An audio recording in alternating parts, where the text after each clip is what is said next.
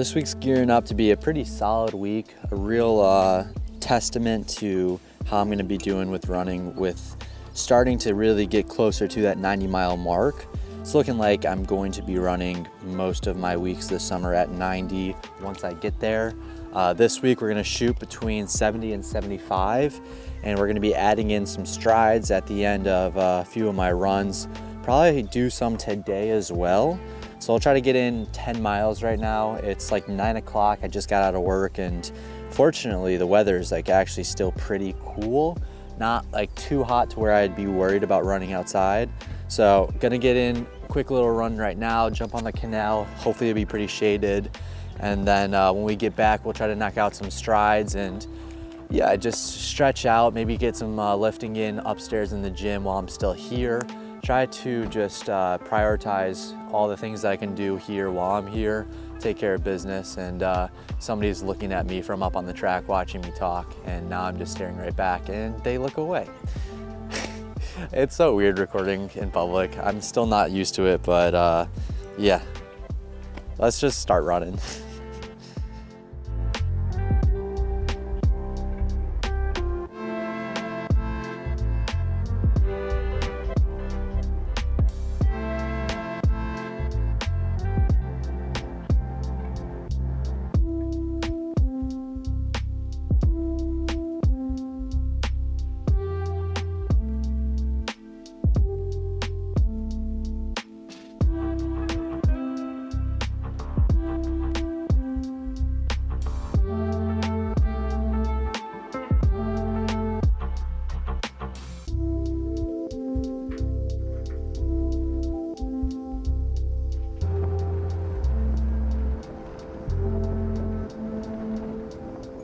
my parents are out of town for the next few days, uh, out in Michigan visiting friends and some family, and I am here at the track this morning because of that. With uh, no Jimmy T being home, uh, like I said last week, it's just easier to come out here and put in the work, just be able to finish up my run and then head on to the track and do some hurdle mobility.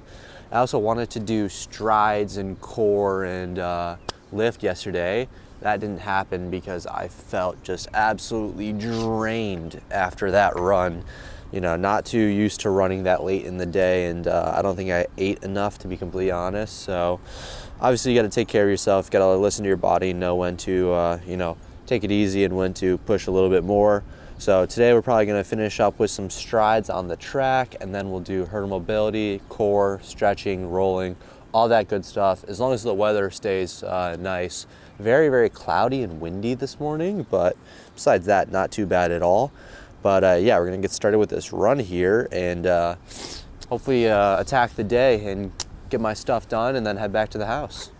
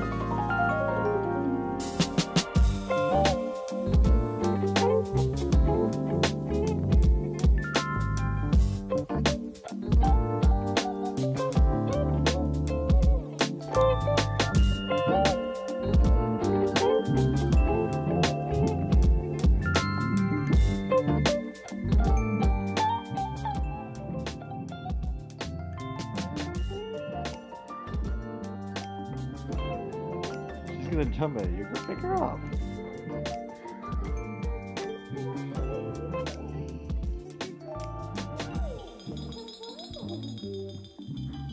Look how crazy she gets.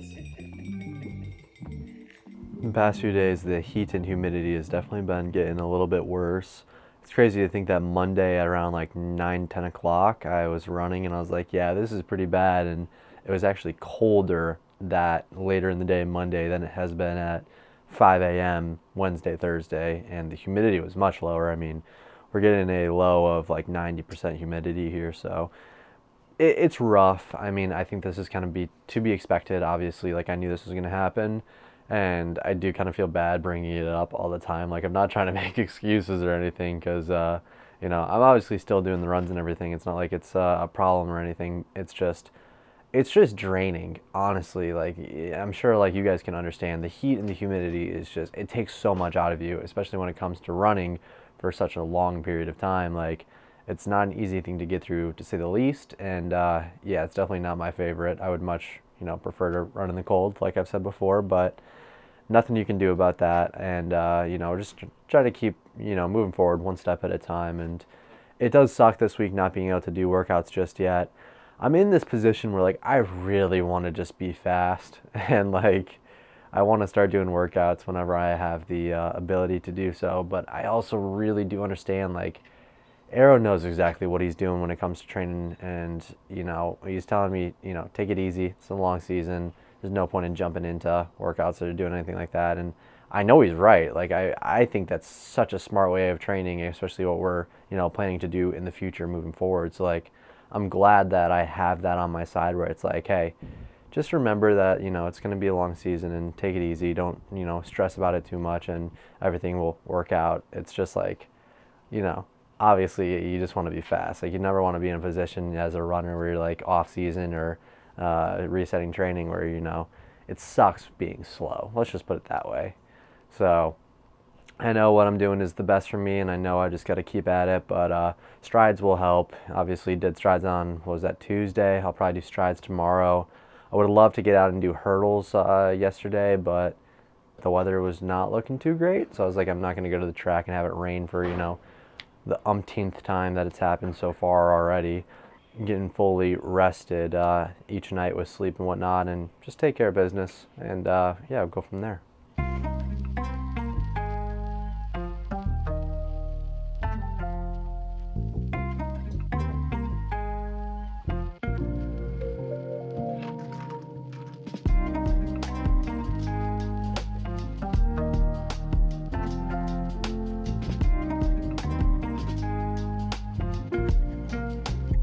Gearing up for a little long run this morning. Feeling pretty good. Like, I don't know, yesterday felt goofy because my legs just were not in it. And then I was going to go do hurdle mobility, but I got called into work a little early. So I ended up just working out a little bit beforehand. And now, like, I got pretty good sleep last night, which I'm grateful for. And I, I don't know, I feel a lot better, but Yesterday was rough. I'm not really sure why it felt so bad, so I'm hoping today goes a lot smoother. And uh, I'm gonna pop some caffeine in a minute here just to make sure that I usually take caffeine before my long runs and workouts. And the only reason I do it for my long runs is so that I can use the bathroom before I run. Uh, usually it just helps me clear out the system. And the last thing I want to do is have to use the bathroom going into like a 16 mile run. So we're to do that, stretch out. Jimmy T should be up in a minute. And then, yeah, probably shoot for around 16, maybe 17 miles this morning. We'll see how I'm feeling.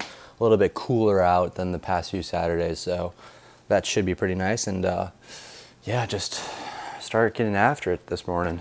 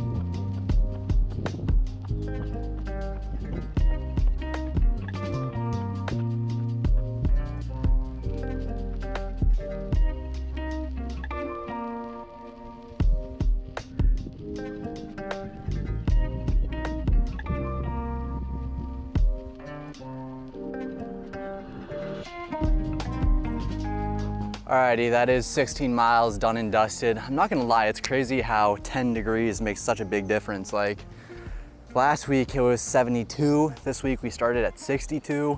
Still 92% humidity, but like not bad at all. Like honestly, I was pretty surprised that it was, I felt as good as I did because I definitely felt pretty good this morning. Obviously, uh, you know, you go on Strava, see the pace change. Like I was working down, negative split most of them and uh, felt pretty good, I'm not gonna lie. So pretty happy with that and get to take the rest of the day easy. Might go chill on the river or something. Just enjoy it, you know. It, it's, uh, it's a good day when the long run goes well. Get to enjoy the rest of the day and easy run tomorrow morning to top off the week. But yeah, I'm uh, pretty happy with that. Definitely starting to feel fit again. So also shout out Jimmy T behind the camera. I couldn't do it without him. I really can't express how much I appreciate him driving next to me and filming all the time. So it goes a long way with giving me my bottle, letting me drink electrolytes and whatnot. So it's a huge help. So shout out to Jimmy T. He's a, uh, he's a real one. He's the goat.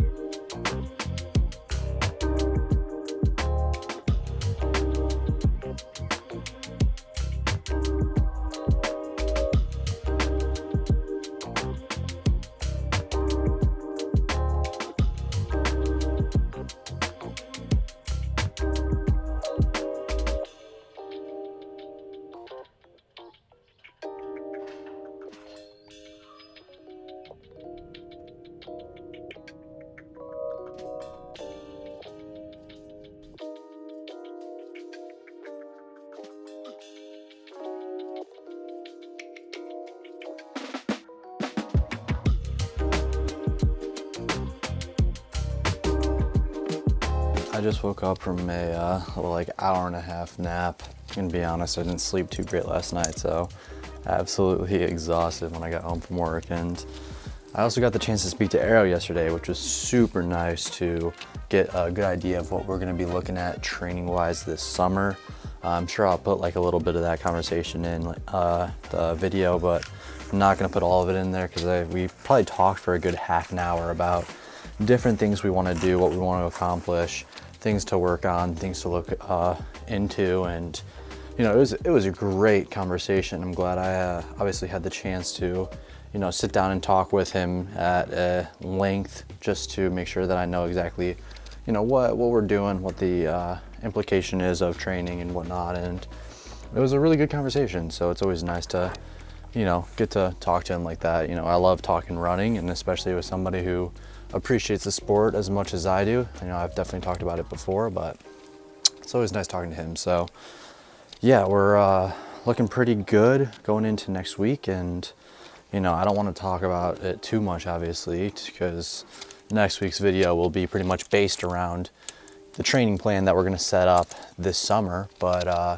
it's just weird because like we're already halfway through summer, it feels like. And, you know, I'll probably still consider summer running throughout the uh, month of August, but I don't know, it just feels weight starting a little bit later on than normal. But yeah, besides that, life's been uh, moving, does, doesn't stop. Same thing with running. So it's been a pretty uh, solid couple days here and just excited to get back after it. So hope you guys enjoyed this week's episode of Summer Running. And with that being said, I'll see you guys next week with some workouts, some absolute fire going to be going down for sure. And uh, just appreciate you guys always tuning in per usual, all the support, all the love. And I'll see you guys next week. Take care. Love all things. See you next time. Peace out.